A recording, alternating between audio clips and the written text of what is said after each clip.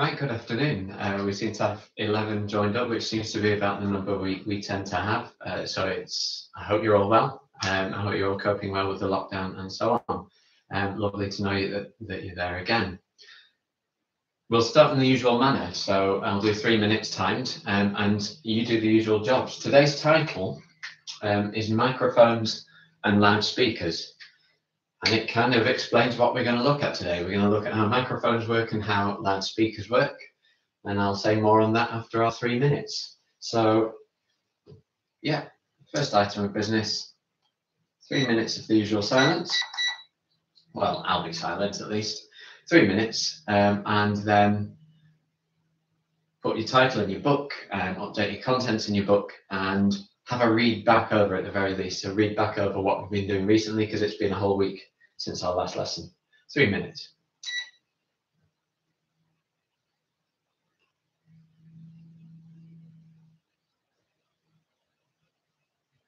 Good suggestions, Max. Um, I know Rasputin. I don't know the other one. But a good suggestion is walk on, walk on music, a banging tune if ever there was one.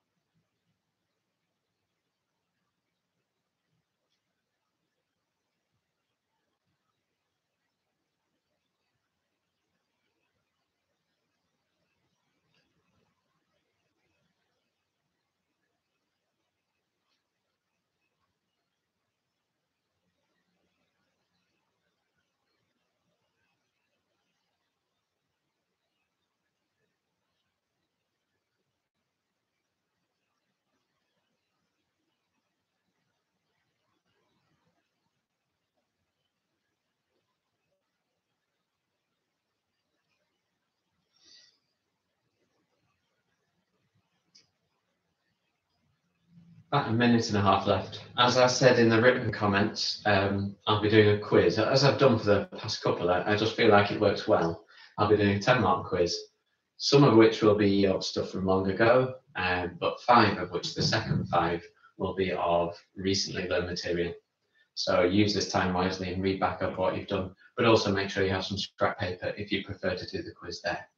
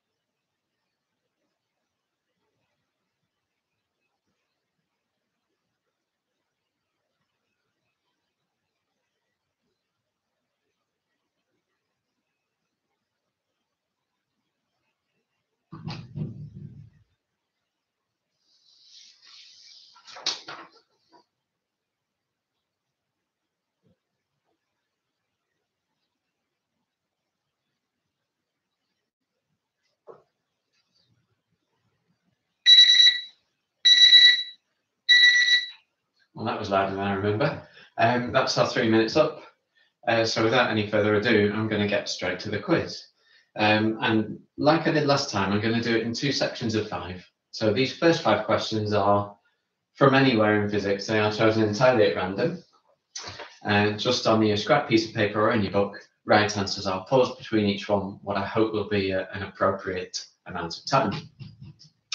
So question one is this. On a velocity time graph, a horizontal line represents what?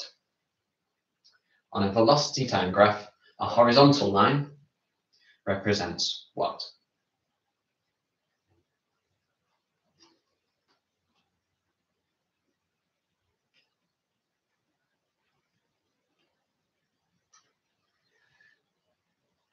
Question two is um, complete the sentence um, with one word. Atoms of the same element always have the same number of something. I'll say that again. Atoms of the same element always have the same number of something.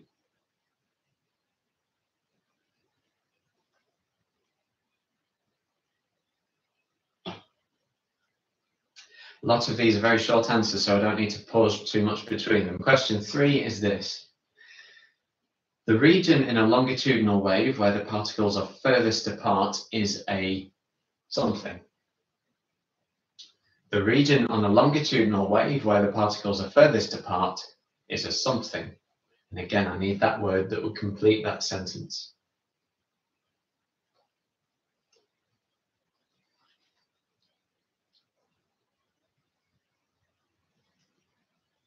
Question four, another one word answer. Um, it's to complete the sentence. This time the word comes mid sentence. Changes of state are caused by the amount of something a substance has. Changes of state are caused by the amount of something a substance has.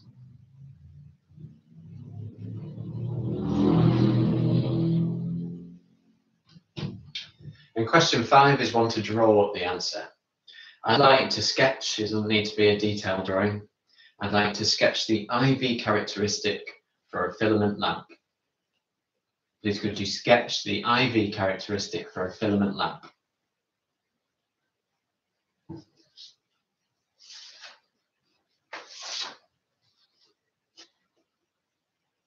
So that was question five. We'll go through questions one to five before moving on to the other ones. So question one, on a velocity time graph, a horizontal line represents constant speed, or words to that effect. The answer is that the object is going at a constant speed. Constant velocity would do as well. Question two, atoms of the same element always have the same number of protons.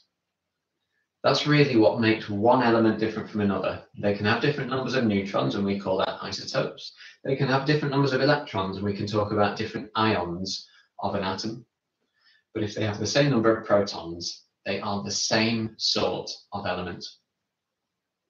Question three, the region in a longitudinal wave where the particles are furthest apart is a rarefaction. I was looking for the word rarefaction there. Question four, changes of state are caused by the amount of energy a substance has.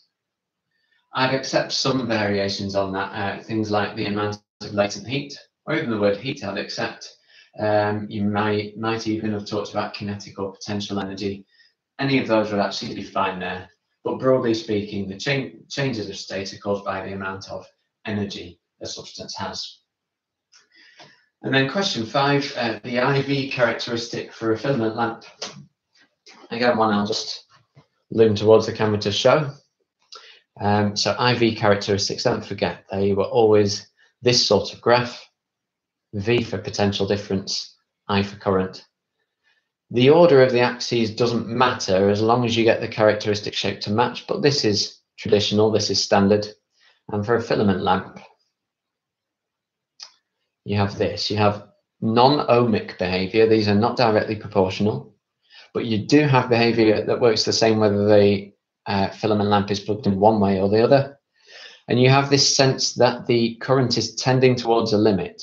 In the end, you can put more and more voltage across that filament lamp, but it will not lead to an increase in current in the end. It tends towards a limit. And it does so because the filament lamp gets hotter and the resistance increases. That's the kind of hidden story behind this. But the answer to the question is what you're seeing there.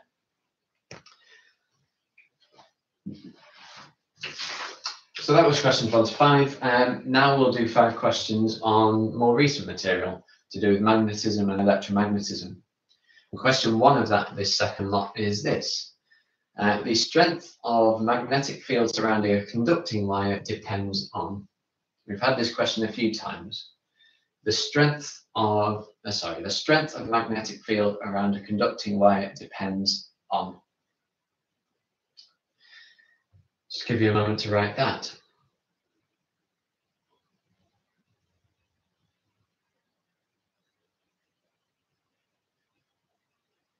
I'm going to be more specific with question two than the actual wording of it. I'm going to draw a wire. And the wire I'm going to draw is like that. So for a start, you've got to remember what that symbol means and what that symbol tells you about the wire and about the current flowing through it. But I would surround that wire. So there's a picture of a wire that notation means something, and that's that's one thing I'm testing here. But I'd also like you to draw the magnetic field pattern around that wire. That's question two.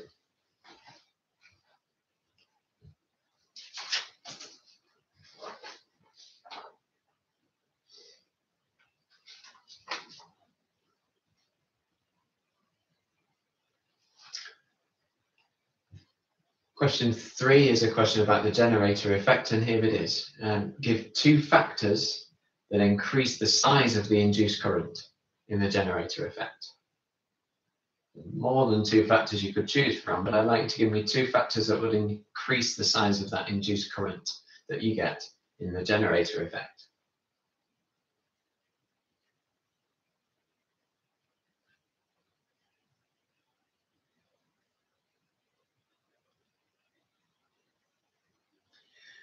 Question four, and I hope I'm timing these right. Again, it's really hard for me to know. But question four, a magnetic material which becomes a magnet when it's placed in a magnetic field is a something.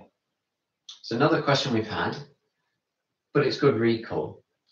A magnetic material which becomes a magnet when placed in a magnetic field is a something. So that was question four. And then question five, another one to sketch. Um, I'd like you to sketch, and it's not one you've done before, sketch the potential difference time graph produced by a dynamo. Sketch the potential difference against time graph produced by a dynamo.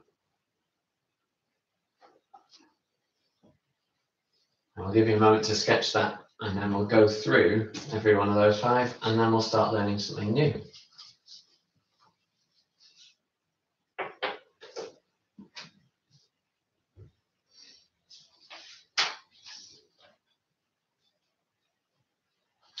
Right, uh, going through those second set of five questions. Question one was the strength of the magnetic field surrounding a conducting wire depends on. Sorry, I don't need to be towards the camera for that one. Um, the strength of that magnetic field around a conducting wire depends on, I think the most obvious one, the, the size of the electric current flowing through it. So the amount of current, words to that effect again. You could talk about distance away from the uh, wire, but the main thing the strength of that field depends on is how much current is flowing through that wire. That was question one. Question two, uh, draw the magnetic field around this. So first thing you needed to understand when you saw that was which way the current's going. And what you're picturing is you're picturing a wire that's coming out of the page like that with a current flowing out of the page. And so once you do that, you employ the right hand rule. Your thumb points out of the page and you see the fingers curl around like that. So what you were, what I was hoping you draw here is circular field Try and get this detail right. Try and make sure that the distance increases as you go further out. because that tells us that the field weakens the further away that you are. The answer space. But then we have to add the direction of the field. Current coming out of the page, fingers curl as we're looking at it anti-clockwise. So in some way you have to label that there's an anti-clockwise direction to this field. So that was question two. Question three, give two factors that increase the size of the induced current in the generator effect. Well, one of the things that increases it is the strength of the magnet. You might have talked about how much wire is in the field, the length of the wire, or how many coils it has. And indeed, the speed of the relative movement. Remember, the generator effect was this idea that if we move a magnet in a magnetic field, a current will be induced.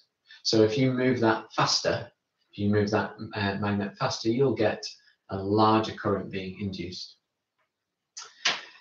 That was question three. Question four, a magnetic material which becomes a magnet when placed in a magnetic field is an induced magnet. Induced magnet, the answer there. And then question five, another graph sketch. I was after the potential difference time graph for a dynamo. So We saw a couple of graphs on sheet the sheet we had last time that looked like this. Potential difference or voltage went here. Above this line was positive, below this line was negative, zero in the middle. But a dynamo as the thing spins, there's a cycle of how much voltage is induced. But you should end up with something like that. So it's like a wave, but it's a wave that only ever stays above zero dynamos produce direct current. And that was the graph I was hoping to see there. And I think that was a tough question, so particularly well done if you got that. Right, that's the end of the questions. And so I think I'll start teaching you something new. I'll start uh, teaching you about microphones.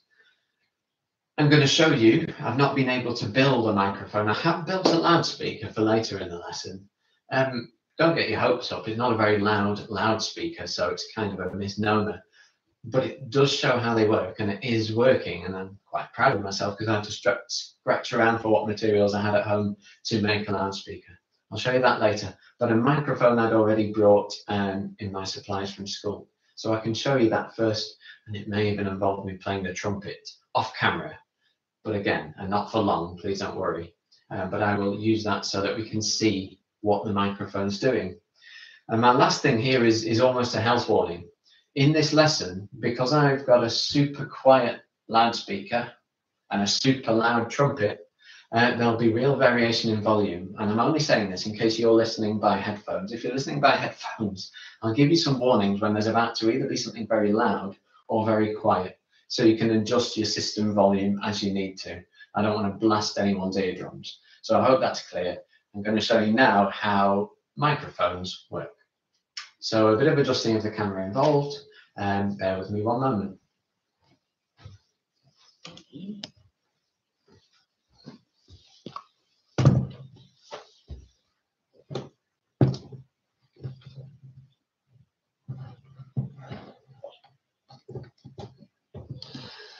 Right, uh, what's on your screen now is not a microphone, it's an oscilloscope. But that's going to allow us to see what the microphone is doing. I'm just pressing on autofocus to make sure that's nice and clear. So that's an oscilloscope. And remember what it is. It's basically a voltmeter that gives a display. It measures voltage, but going across is time. And so what that allows you to do, unlike a voltmeter, is you can see a picture of a changing voltage. That's particularly useful when you want to see waves. So I'm going to turn the microphone on in a minute and I'm even going to start playing the trumpet at it. Um, and you'll see the waves being made. If I go back to the mock that you did most recently, the PPE exam, there was a question and you weren't prepared for that question. You hadn't studied this yet, but there was a question, what is a microphone for? And it was a question that was broadly badly answered. Of course it would have been, you hadn't studied it yet. A lot of people think microphones are for making sounds louder. Well, they're not. That's what loudspeakers do. Loudspeakers make sounds louder. So a lot of answers said things like to make a sound wave bigger and to make a sound wave louder. No, that's not a microphone's job. A microphone's job is the first part of that process. Before you can make a sound louder, you need to be able to capture it. That's what a microphone does. A microphone takes a sound wave that approaches it and turns it into an electrical signal, into an electrical current. And today we're going to learn how a microphone turns a pressure wave in the air into an electrical current in a wire. I'm going to ask a question now, and I know we've only got a few who like to use the comments, but I'll ask it and just see who can answer first and, and see how many people can answer. I'd like to ask this question. Do microphones use the motor effect or do they use the generator effect? I'll give you a moment to answer that now. Do microphones use the motor effect or the generator effect?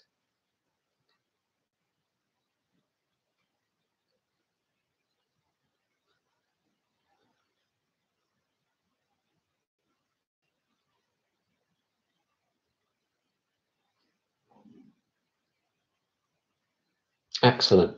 Got four answers almost at the same time there. Really well worked out. Microphones use the generator effect. Remember what the generator effect is for. It's the idea that if you put movement in, and in this case, the movement is just air moving, but it's still movement in, the, the outcome in, any, in some ways is more important in the generator effect. The outcome is voltage or current. So yeah, microphones employ the generator effect in a really clever way. Now I'm going to switch the microphone on now. Oh, well, it's already on. And not much happening on the screen. That's why I need something that will make a slightly louder sound. The voltages we're talking about are surprisingly small on a microphone. So I'm going to grab my, well, it's not a trumpet actually, it's a cornet. And I'm just going to play some notes. I'm going to toot some notes at it. And here's my first warning. If you're listening on headphones, just be ready. This is about to be louder than anything else that you've heard so far.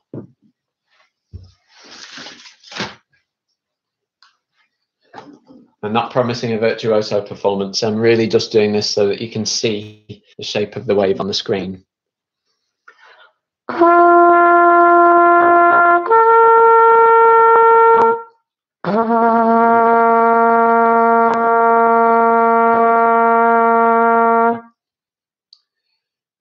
couple of things that are worth just paying attention to there. They're good revision of waves. Hopefully you saw that the louder the note, the larger the amplitude of the wave. So loud sounds make for high peaks on a wave.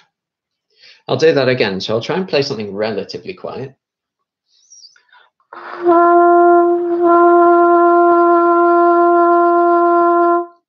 And now I'll play the same note, but louder.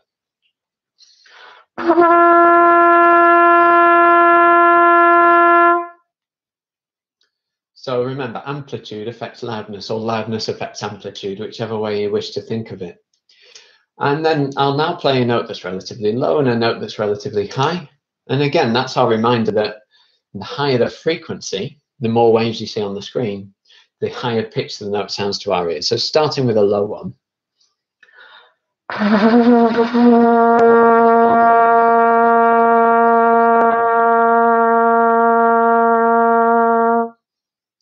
trumpet, that's a C. It's actually uh, B flat on a piano keyboard. Now I'll play at least an octave up or possibly a bit higher.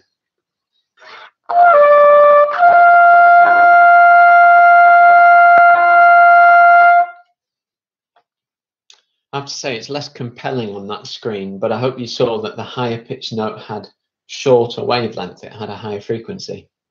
So that's just by way of reminder, but what we now, now need to understand is how you get from a sound wave hitting this microphone to an electrical signal that we can see on that screen. And to do that, we need to understand what is inside this. Now I'm going to talk through it now, then I'm going to show an animation, then we're going to draw a picture of this together. Our version of it's going to be fairly simple, but inside this, first thing to understand, inside this microphone, there is a magnet. And there's normally something called a diaphragm about halfway down the microphone head. That diaphragm is just made of a material that vibrates easily when sound hits it. So the diaphragm vi vibrates when the sound wave hits it. And that diaphragm is attached to the magnet. So whenever the diaphragm vibrates, the magnet also vibrates. Then all you need to do to turn that into an electrical signal is use the generator effect. In other words, surround it by a coil of wire. And if you have a vibrating magnet surrounded by a coil of wire, you will generate a potential difference and therefore a current inside that wire. It will be an alternating current because the vibration is one way, then the other, forward and backwards. So the magnet is moving one way, then the other, and that means the current we induce will be going forward and backwards. In other words, we've captured a wave. And it doesn't matter whether it's a person speaking like I am now, you're hearing me after all by virtue of a microphone. It doesn't matter whether it's a person speaking, a whole orchestra, or a trumpet in the case of what I just did. Each of those sounds is unique and it will create a slightly different and unique wave within the diaphragm, within the magnet, and therefore a unique alternating current in the coil. Well, I'm going to show you a an animation of the insides of a microphone now, and then we'll make some notes on it.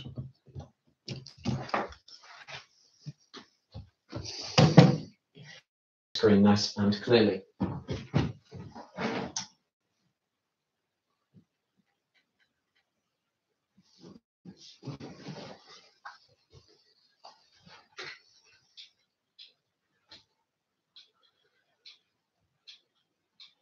Nearly there.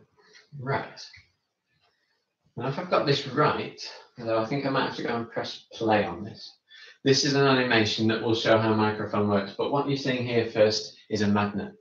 I'm going to come to the other side of the screen so I can press play and point at things all at the same time. Oh, in fact, it is working, yeah. There goes the diaphragm, there goes the coil. And this is just going to show us a voltage being induced. So this is within the head of the microphone. And what you're seeing now, and it probably isn't picking up well on your screen, is this is vibrating slightly, making the magnet vibrate slightly inside a coil, inducing an alternating voltage, an alternating potential difference.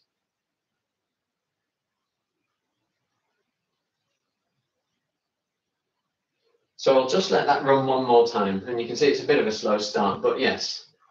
Um, you have a magnet, diaphragm, coil. And this is just measuring voltage. But when that diaphragm vibrates, the magnet vibrates. Look for it there. Hope you can see it. And as that vibrates forward and back, a voltage is induced, a potential difference is induced. Well, that was what was going on inside the head of that microphone. So we're going to try and draw this out now in um, a slightly less stylized way, but a slightly more useful way, putting it in the whole context of the microphone. Um, and then we'll write a short description of how it works. So you'll need ideally pen, pencil, possibly a ruler as well, because we'll do a subheading. So pen, pencil and ruler. I'm just going to move some things around.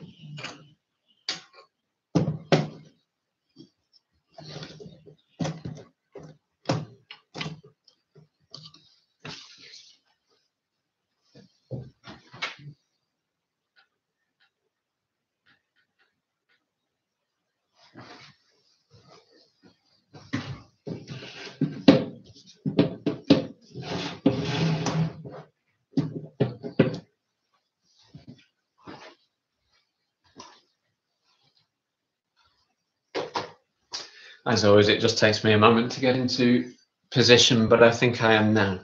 So, um, a subheading, please. And could the subheading be microphones?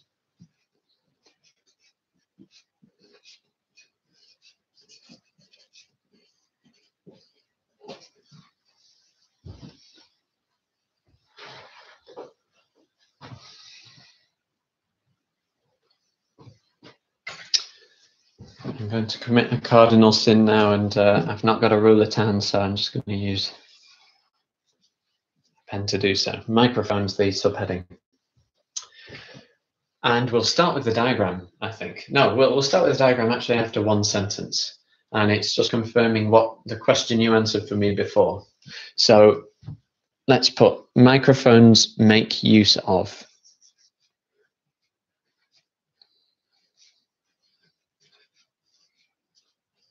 microphones make use of the generator effect.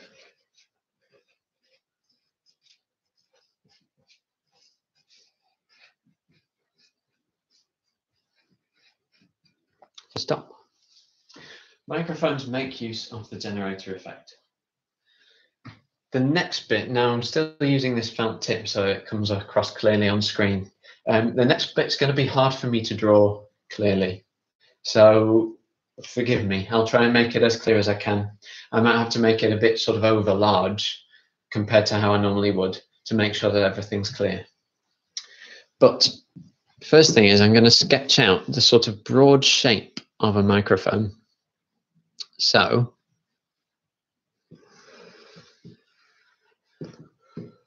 that is the head of the microphone. And then we're going to show the sort of handle that you hold as well, going off in that direction, like that. So draw something roughly that shape.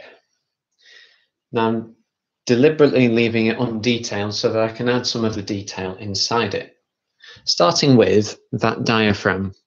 Now this is not quite how it's laid out, but it's a good enough understanding of what's going on for it to be worthwhile.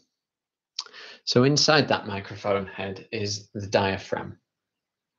And we'll label that first.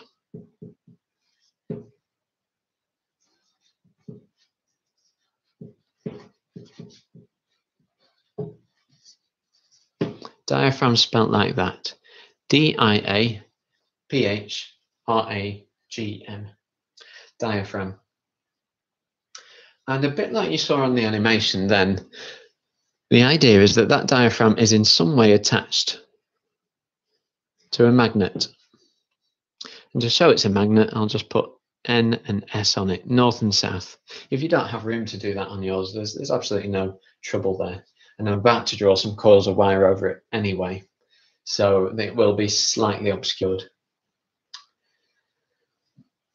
Well, I think from context, oh no, I probably will add that that's a magnet actually. Mm. It's just going to be easier. So that is a magnet. And then, yes, we need to in some way, now we won't go overboard with it, but we need to show in some way that there's coils being wrapped around this. So I'm just going to loop maybe even two coils around it. But then importantly, I want you to show that the wire carries on and out here. So we have the idea that in some way there's some wiring that brings the wires out to there. And in fact, I'm just going to curl them down into this space here.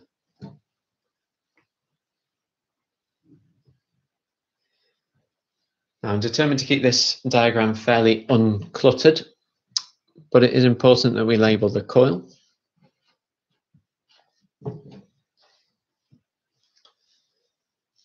And then I'm just really going to label one more thing. I'm going to label arrows here and here. And I'll write what that means underneath, but it's my way of reminding you that there's an alternating current being induced. So AC is induced.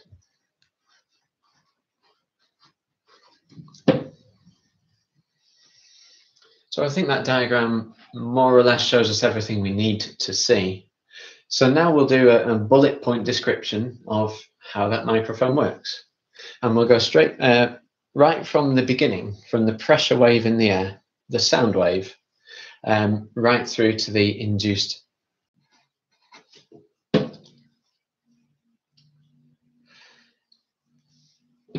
now we bring in the idea of electromagnetic induction or of the generator effect. So what I'm going to say is I'm, I'm going to put this as, as clearly as I can, but also as fully as I can. Um, we're going to talk first about a potential difference being induced and that causing a current to flow. So magnet vibrates. This induces alternating. And I'm going to use PD for potential difference. That is a common shortening, but if you think when you read back that, that you'll forget what that means, then you can write the words potential difference if you want. And keep it as that. This induces alternating PD in coil.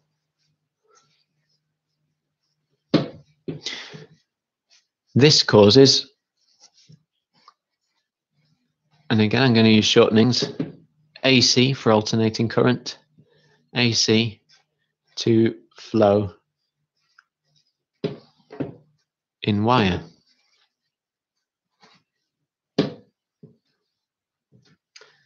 And that is how microphones work.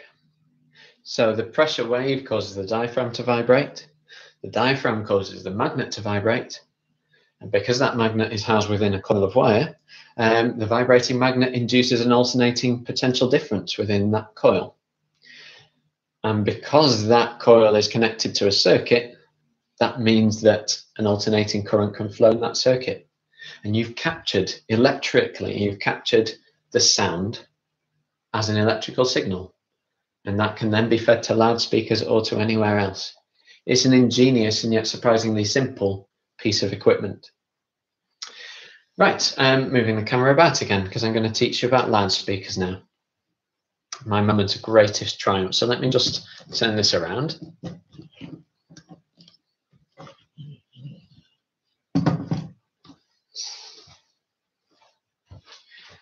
Yes, so here on screen, um, just under a week ago on Friday, I said that one of the things I would pledge to do by the next lesson is to try and build a loudspeaker from stuff I had at home. I've not been able to to get into school because of, of lockdown restrictions. I can't sort of nip into school into my uh, lab and steal some equipment back home.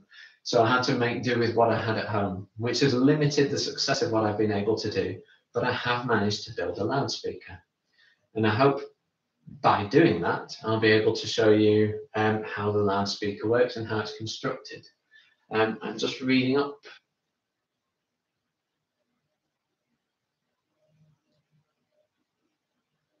Has there been a problem? I'm reading lots of comments that uh, uh, there was a problem with connection, but it looks like we're all good. I'm seeing lots of thumbs up.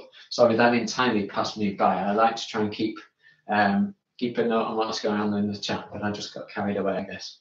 But yes, assuming you can all see me now, I'm about to show you the loudspeaker I've constructed and hopefully show you it working as well. So let me just bring the camera down to the table.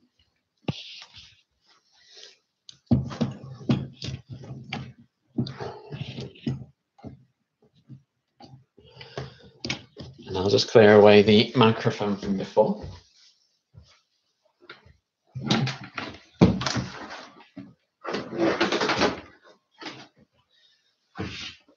And I'm going to replace it with my pride and joy, my brand new loudspeaker,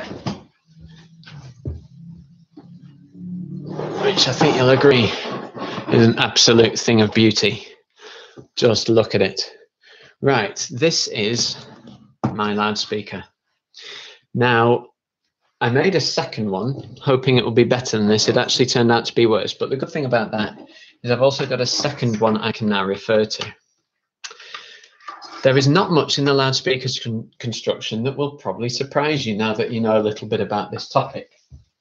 So the first thing to draw attention to is the fact that at its heart is a big coil of wire. Well, I've got one here. So actually, yeah, this is kind of a two cup device like that. I'll take it apart for a moment. I may regret doing that because it can be really temperamental to get it to work. But in this first cup, I've just placed, and it just has a bit of Blu Tack, or I think it's white tack actually. But in there, so I'm not holding that very well in front of the camera, there's a, a magnet. Now you can see two button magnets in there. They were the strongest magnets I had to hand. They're not very strong. That's why this magnet, uh, this microphone, sorry, this loudspeaker, does not work very well. I've added as many extra magnets as I could, but at its heart, um, a loudspeaker needs to have a good quality magnet. And I don't have such a magnet, which is why the microphone, sorry, the loudspeaker I made is not of the best quality. But it starts with a magnet and that stays where it is. You sometimes see loudspeakers called moving coil loudspeakers, and that's because unlike the microphone, it's actually the coil we're going to get to vibrate. The magnet stays where it is. And inside it, in fact, I'll use my extra one. This is not the one I'm going to use. It's just I don't want to mess about with that one too much for fear it won't, won't work. But inside this, I've got a cup. And then on the end, I just got a roll of paper. Roll of paper. And then I tried to find wire. And again, that's not something I have huge amounts of at home. This was an old piece of Christmas lighting that I took apart to try and get some copper wire. This one didn't happen to work, but I've done many, many, many turns of wire around this. So it's just a coil of wire stuck down to a cup.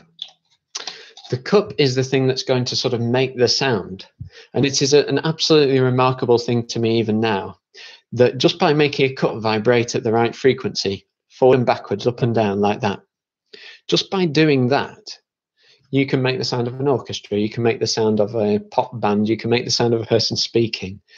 I find it absolutely remarkable. That is the thing that's going to move. So, yes, it gets housed within this first cup. And the coil then sits around the magnet. And that all sits fairly neatly like that. I'll just try and turn it such that you can see it well. That all sits fairly neatly like that. So we had, I'm sorry if I'm laboring the point, I just want to make sure it's absolutely clear to you.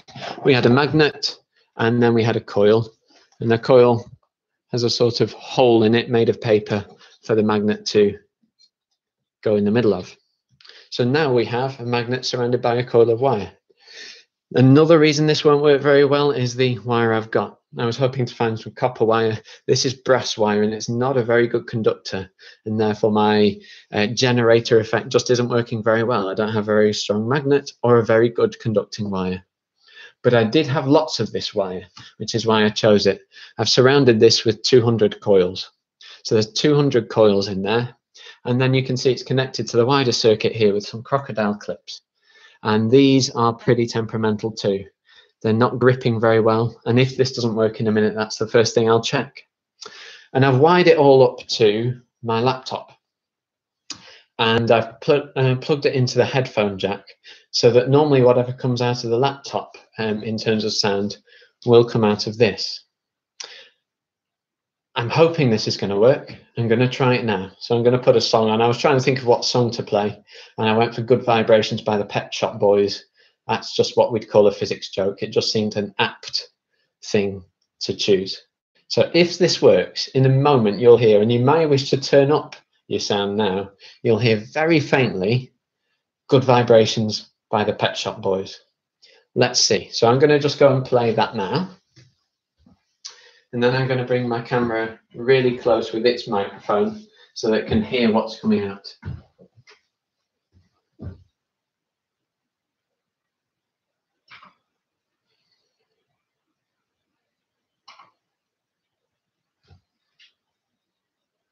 Oh, well, I can hear it. But you're going to have to confirm for me with comments in a moment. I'll tell you when to tell me. You'll have to tell me if you can hear it. So I'm just going to take the camera off its mounting so it can get really close.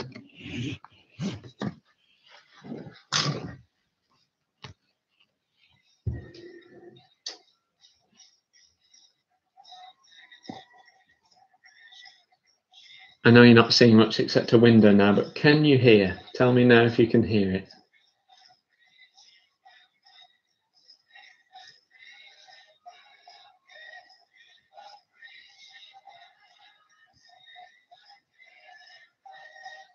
Well, Harry can hear it just about. I'm getting some yeses here. Oh, well, I am kind of thrilled. Sorry, I know you're not getting the most useful view just of a, window sort of upside down. But yeah, what you're hearing, let me just put it on screen to give it some context. Ooh. Should never go handheld, this is disastrous. Where is the camera on this thing? There we go. What you're hearing, although you may not be able to now, but you are just hearing a cup vibrate. And yet that cup sounds remarkably like the Beach Boys singing. And that cup could sound remarkably like one of the great orchestras of the world playing hundreds of players in one ensemble. Or it could be one of your loved ones speaking. And yet a cup vibrating can make that sound. And I think it's especially remarkable given all the bad connections. So you can see these dodgy connections here I've used a bit further along the way, these crocodile clips that are barely clinging on. And yet somehow through all of that, this cup is making the sound of the Beach Boys. To me, it will never not be remarkable, but it's an incredible use of the generator effect. So as I bring it close again, you should be able to hear it again.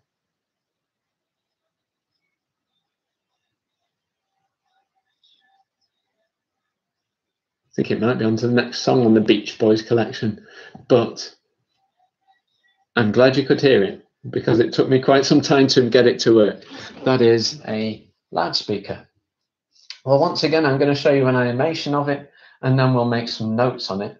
Um, and so you'll just have to bear with me once again while I move the camera back to its original position.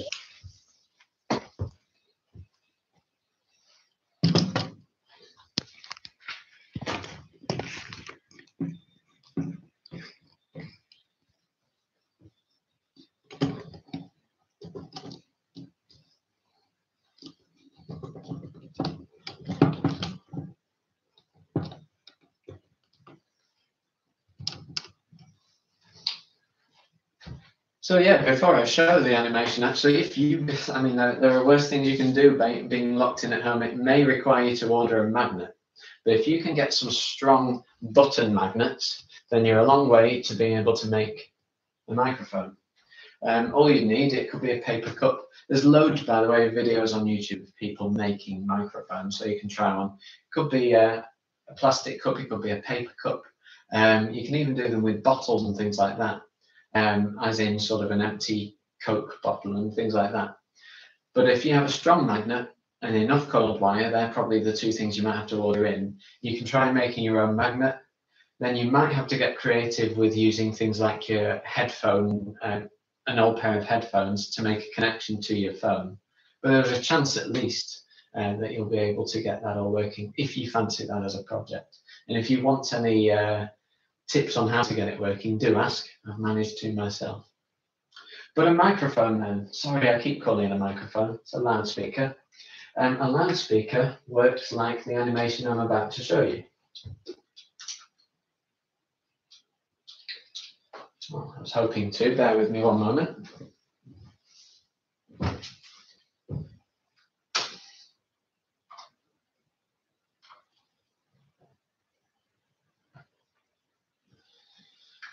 Right. So I'm hoping this animation will scroll and scroll as well, but I'll just make it nice and big on the screen. Sorry about all the movement today. I knew it was going to be one such lesson.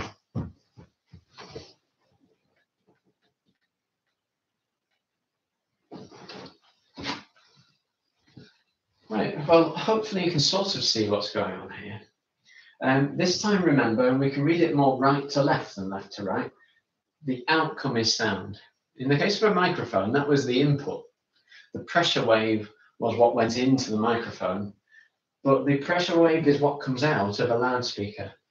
And you can see, a bit like my um, design, there's a bit of reversal of roles. So the magnet here stays stationary. The magnet is unmoving. It's the coil that moves. And I said to you before, that's why they're often called moving coil loudspeakers. And so the idea is that in comes the electrical signal, an alternating electrical signal. Um, and because it's alternating, then this time the motor effect works in two different directions. When the current flows one way, the speaker pushes out. When the current flows the other way, the speaker goes back in, pushed by the motor effect. And because that means this whole thing is moving forward and backwards, it's vibrating. Then all you do is you make a cone I made a cone out of a paper cup. You could make a cone out of a piece of paper. Most loudspeakers you buy, and here's one, they use nothing more fancy than a bit of cardboard. On this one here that's just in front of you there, and you can hear me tapping it. Hopefully it sounds like cardboard, because it is. It's just a thin piece of cardboard. Basically, you need something lightweight that can push air forward and backwards. Has a nice big area, a big piece of cardboard, it just pushes the air forward and backwards in front of it. Well, that's what the cone does here.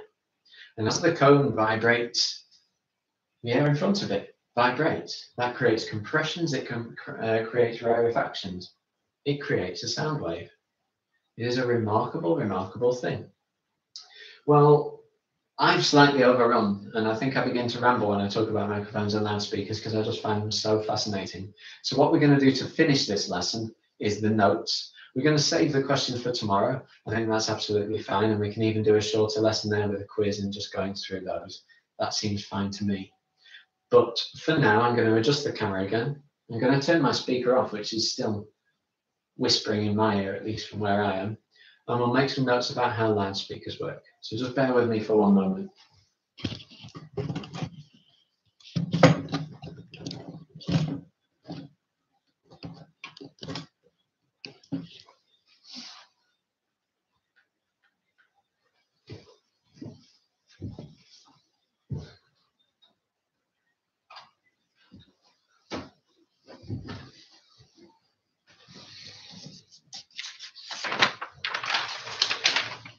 Right, so I think I'm in position. I may just need to zoom the camera out. There we go. And a similar drill to before, we're going to make some notes about how loudspeakers work. So a subheading first, please. Subheading loudspeakers.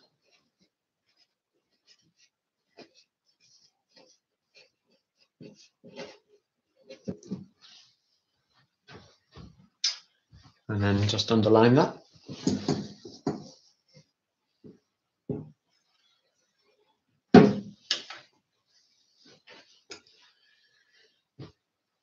And my diagram on this, uh, we'll write the opening sentence in a second, but my diagram is going to read, unlike the one you saw, it's going to read left to right, as it were. So the input, the current coming in, will be on the left of the diagram. The output, the sound, will be on the right. I think in that way, it kind of matches our microphone diagram quite well. But first, an opening sentence. Loudspeakers, which I'm choosing to write all as one word. Loudspeakers make use of the motor effect.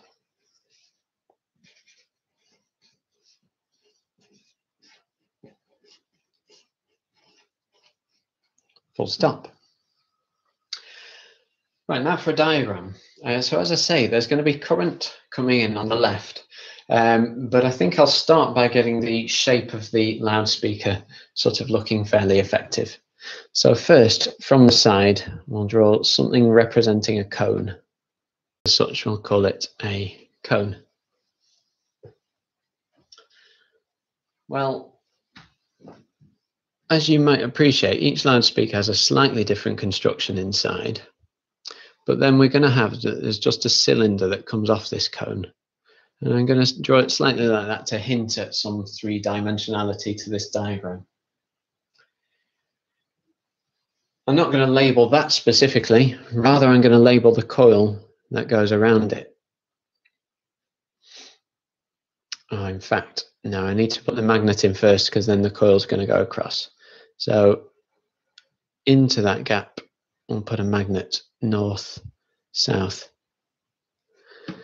They don't tend to use bar magnets like I'm showing here. It's just a, a good stylized version of it. Um, and it just makes things nice and clear. So in here we have the magnet.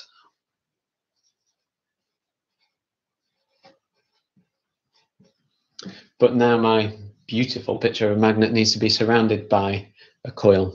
So just looping over here again, just a couple of coils of wire I think will illustrate the point well enough. But then again, we'll make sure that our coil goes to an external circuit. And a bit like last time, let's just add our arrows to, to imply that there is an alternating current being able to flow back and forth in that wire in that coil. And so our description could go something like this. Uh, in fact, we need to show the pressure wave somehow as well. Uh, so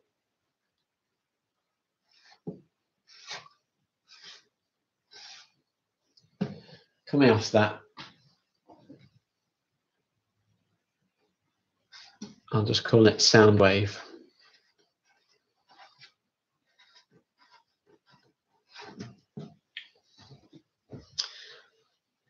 And over here in our diagram, before we said AC is induced, it's not induced here.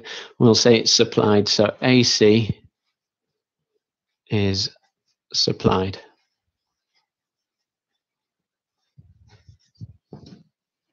So again, you can read this diagram left to right. AC is supplied. That causes the coil to vibrate around a fixed magnet, or maybe put next to the magnet fixed around a fixed magnet. And because that coil is attached to the cone, the cone also vibrates. And that vibrating cone causes the air in front of it to oscillate, compress and rarefact. And you get a sound wave. So let's capture that in the simplest way that we can. Um, so AC flows in coil.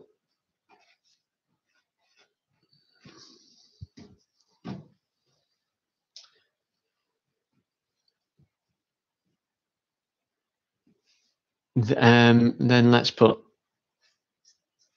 this causes it to vibrate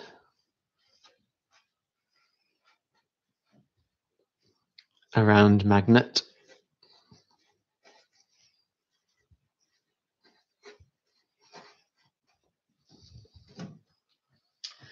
Um, magnet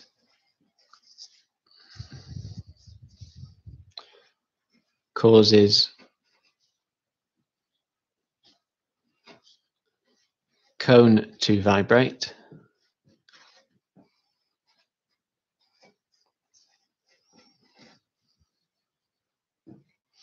And then cone causes air particles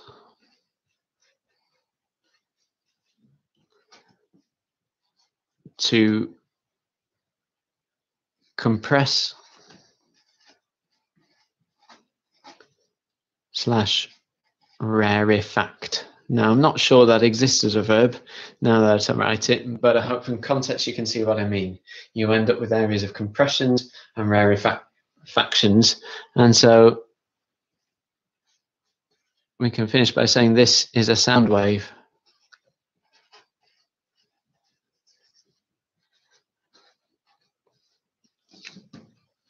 So that is a very simplified, but hopefully useful description of how loudspeakers work.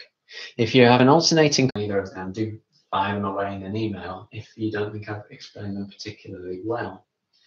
Um, but yeah, thank you for bearing with me through all of that. It had been my intention tomorrow uh, to start telling you about transformers, but actually that will now wait till next week. And I think what we'll do tomorrow, you don't need to print out anything new, and so I won't send out any extra email tonight. I might just send one out as a reminder. Um, but there won't be anything extra to print because we can do the questions that you've not yet done then. And we'll also do one of our quizzes. And so tomorrow might even end up being a slightly shorter lesson, but I think that's fine. I think we can be flexible in that sense. And then next week, we've probably got two lessons left. I need to teach you about how um, transformers work and then teach you some equations associated. It's two or three more lessons worth of content. Um, and I'll tell you about those next week. So for now then, um, yes, I might send an email just to remind you about tomorrow, but it's 10 past nine tomorrow. I'll be, I'll be live from nine. It's the early slot. Um, if you have any questions about how this works, then fire them away by email and I'll try and answer them before that point. Um, but I think all I need to do is remind you to stay safe and hope that you're all okay. And yes, do tune in tomorrow. Thank you very much for well everything you've done in terms of your dedication. It's always great to see the 10 of you turn up every time. So take care of yourselves and we'll see you as it were tomorrow and we'll practice some of this knowledge about loudspeakers then. So I'm just checking there's no other questions. Right, yes, it sounds like the stream, so apologies, it sounds like the stream came back and forth through that, and I'm really sorry, I'm not aware of that unless I check the comments as I do. Um, but yeah, watch back if there's anything you missed, and ask me any questions if there's anything you feel you missed that you can't sort of catch up on. And goodbye for now, thank you very much. See you tomorrow.